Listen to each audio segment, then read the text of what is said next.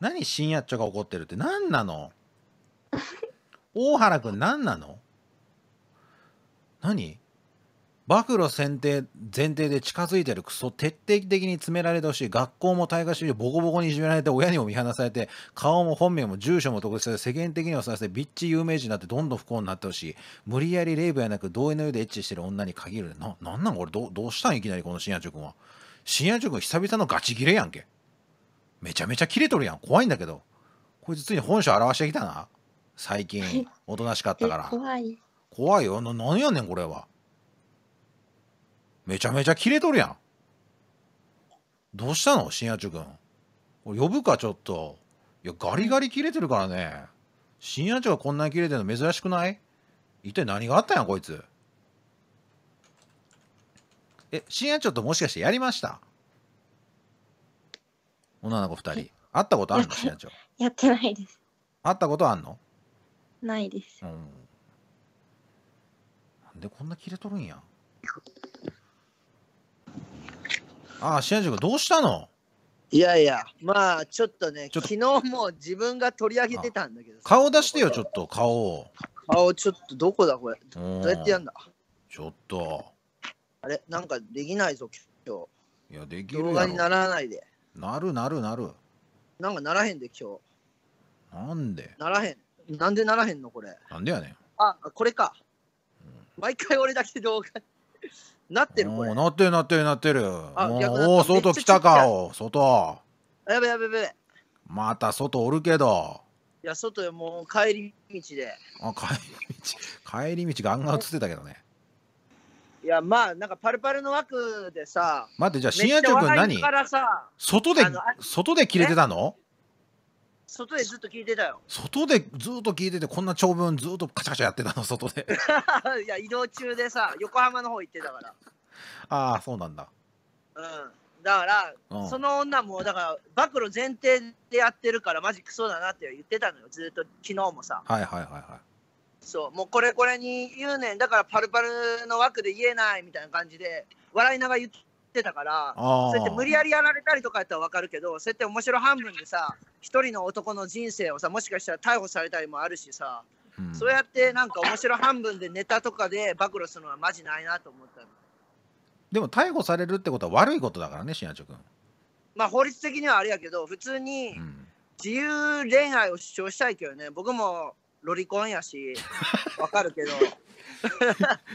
だってさ、普通に俺の知り合いのさ、あの18歳未満の JK とかハロウィンの時に3人エッチしたとか普通に言ってたし、うん普通に世間一般ではえ未成年がエッチしないっていうのは嘘だからね。やってる方が多いよ、18歳未満で。いやそれは分かんないよでもそうやって配信者とか有名人ってだけで、うんそうやって名前挙げられて、うんでネタにされてさそれでいちいちなんかね世間体的にもさそうやってロリコンロリコンってずっと言われるわけでしょ？うん。だからその女の子も晒したんだから晒すされる覚悟はないってことはおかしいだから徹底的にうん。その女の子も学校退学するまで詰めてほしいよね。これこれは。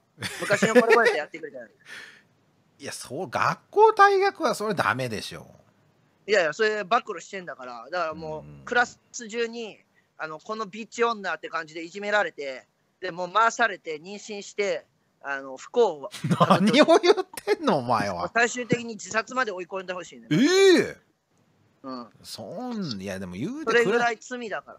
いや罪なのはクラインさんですよ。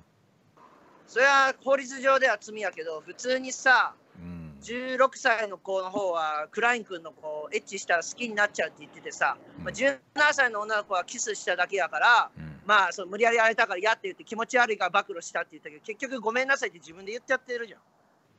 うん。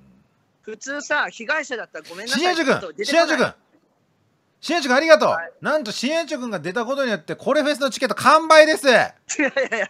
ありがとうみんな。全然関係ない話よ。みんなありがとう。今完売したわ。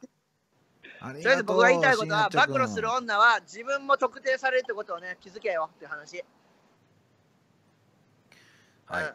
まあそうですね。それはそうですね。まあそれはありますよね。そう。自分もだはい。ら自分の顔も住所も学校も特定される覚悟があるんやったら暴露したらいいよ。